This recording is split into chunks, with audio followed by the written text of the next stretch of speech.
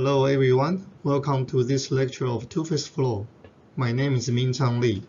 I am currently a faculty at the Department of Power Mechanical Engineering in National Tsinghua University.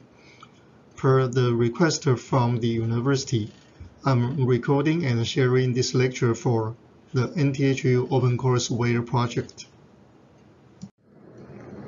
The topic of this lecture is phase stability and homogeneous nucleation. At the molecular level, thermodynamic properties in nanoscale control volumes may fluctuate due to the random motion of molecules. This is different from the assumption in microscopic analysis for fluids. In that case, properties are well defined at each point in space. This difference is especially important to the onset of boiling or condensation because the typical sizes of nucleation sites are on the order of few nanometers or even less. First, let's examine the phase stability and phase transitions by looking at the van der Waals model.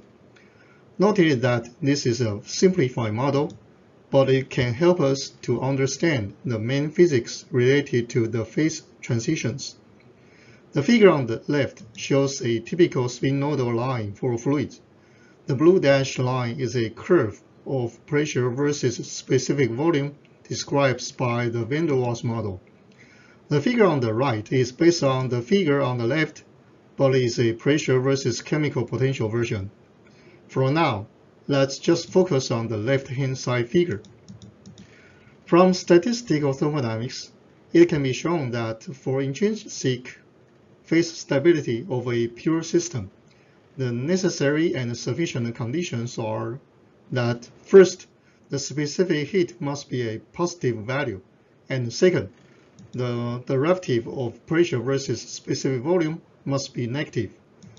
Since the first one is virtually true for all substances, the second criterion, also called the criterion of mechanical stability, is a sufficient and necessary condition for the stability of phase.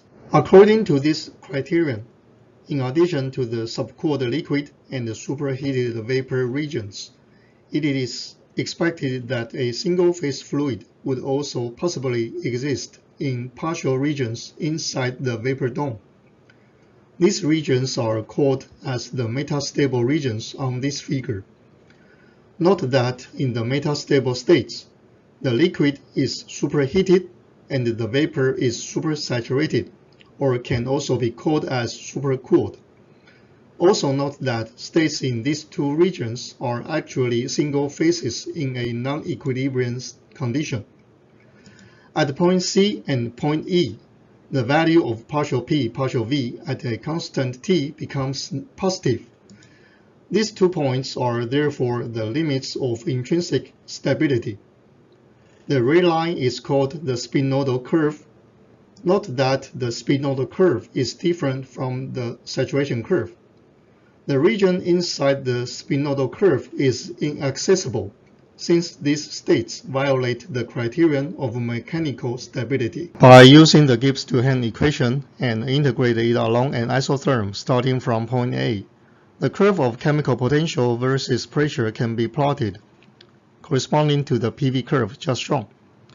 Again, the AB section is the subcooled liquid, BC is superheated liquid, EF is supercooled vapor, and FG is superheated vapor. The portion from C to E is inaccessible.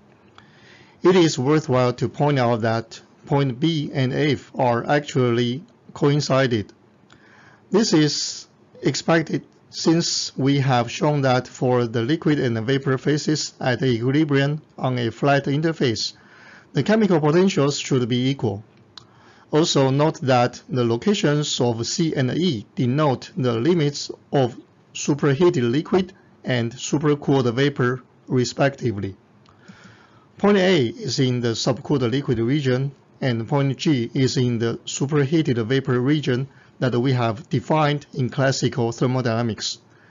Later on, we will use this figure to discuss the metastable regions in more details. The possible new information to be noted again is the metastable regions. According to our discussion, superheated liquid or saturated vapor are allowable states inside the vapor dome. Analysis based on classical thermodynamics usually assume that phase transition occur at the equilibrium saturation conditions. For the onset of phase transition from liquid to vapor, it means the nucleation shall start exactly at point B on the figure showing again on the right. However, in real systems, bubble formation within superheated liquid or droplet formation within supersaturated vapor is generally observed in experiments. This means the actual onset of phase transition occurs within the metastable regions. As shown by the figure on the left, bubble formation completely in a superheated liquid or droplet formation completely within a supersaturated vapor is called homogeneous nucleation. The formation of an embryo of vapor bubble or liquid droplet in liquid at metastable states can be explained by the fluctuation of local density and energy in the molecular scale perspective of a system. The deviations of molecular density from the mean value in a liquid near the saturation condition may result in the localized density close to that of saturated vapor. Therefore, it is possible to have small embryo bubbles of vapor formed within the liquid near the saturation condition. From the Young-Laplace equation, we should also immediately notice that the pressure inside the vapor bubble is higher than that of the surrounding liquid. An example for illustrating the significance of this pressure difference is provided here on the right. From our previous discussion, we have concluded that for a spherical vapor bubble to be at equilibrium to its surrounding liquid, it is required that PV minus PL equals 2 sigma over R, where R is the radius of the bubble. This requirement corresponds to the mechanical equilibrium and the usage of the Young-Laplace equation. The other two requirements are TV equals TL and same chemical potentials for vapor and liquid. By using the Gibbs-Duhem equation again and assuming the vapor bubble follows the ideal gas law, chemical potentials for the liquid and the vapor phases can be obtained. Then, by requiring that the chemical potentials for liquid and vapor phases must be same. A relation for the vapor pressure inside the bubble at equilibrium can be obtained. Note that since PL is less than Psat at TL, for a superheated liquid, PV must be less than Psat, according to this equation inside the red box. By using the Young-Laplace equation, an equation for Re may be derived. Rearranging these equations, the pressure of the vapor bubble can be derived. In addition, since in most cases PV minus Psat is much smaller than 2 sigma over Re, the equation can be further simplified with approximation. It is concluded that PVE must be less than Psat. Referring to the figure on the right, state alpha denotes a superheated liquid. The vapor state corresponds to an equal value of chemical potential is at point beta, which is a superheated vapor. Therefore, for a bubble of finite radius, equilibrium can be achieved only if the vapor is superheated relative to its saturation state. The next question of interest would be that if this embryo formed can attain a stable equilibrium with the surrounding superheated liquid. The change in Gibbs free energy associated with the bubble formation is shown as this first equation on the top. Then apply the Taylor's series about R equals RE the change in delta G corresponding to small changes of radius about Re can be estimated and plotted as the figure shown here. Clearly, there is a local maximum of this delta G at R equals RE. In the limit of RE approaches zero, there should be no change in the Gibbs free energy corresponding to the formation of bubble. Thus, delta G at this limit should be zero. In the other limit that R goes to infinity, all superheated liquid would undergo transition to superheated vapor. Therefore, the Gibbs free energy of the system decreases and delta G should be negative. Also, note that the Gibbs free energy must be at a minimum for a stable equilibrium. Therefore, a bubble of radius r equals Re is in an unstable equilibrium. This means that if an embryo bubble of radius less than Re is formed in a metastable superheated liquid, the bubble is likely to collapse. If a bubble embryo has a radius greater than Re, it tends to grow rapidly. The Young-Laplace equation used in the present analysis relies on the assumption of mechanical equilibrium at the liquid-vapor interface. If the mechanical force, for example, the pressure, changes too rapidly, so the mechanical equilibrium may not be maintained, a better assumption would be that the values of chemical potential in the two phases are equal. A good example to this situation is the cavitation process. This yields a modification of equation 5.80 in the textbook. However, the characteristics of the vapor bubble stability are basically the same with our previous discussion. So far, the theory suggests that the homogeneous nucleation will occur depends on the kinetics of the vapor embryo formation process. If a vapor embryo is continuously obtaining molecules due to evaporation, the embryo grows. If it is losing molecules due to condensation through the interface, it shrinks. In fact, the bubble will eventually grow or collapse depends on the difference between the rates of evaporation and condensation. If at equilibrium, the rate of condensation will balance the rate of evaporation. On the other hand, if these two rates are not equal, then the bubble should grow or collapse. For a superheated liquid, the liquid-vapor interface of the embryo is not expected to be at a stable equilibrium, especially near homogeneous nucleation threshold. This means that the size of embryos would change. Here, define Jn as the exact number of embryos of size n that change to size n plus 1 due to evaporation over the number of size n plus 1 that pass to size n due to condensation.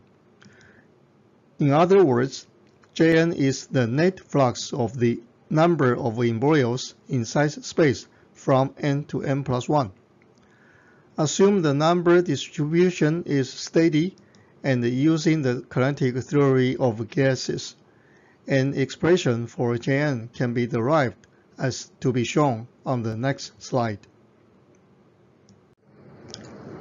Typically, a change of 1 degree C of temperature can change J by as much as 3 to 4 orders of magnitude. As J increases, the probability that the embryo will exceed critical size Re and grow increases.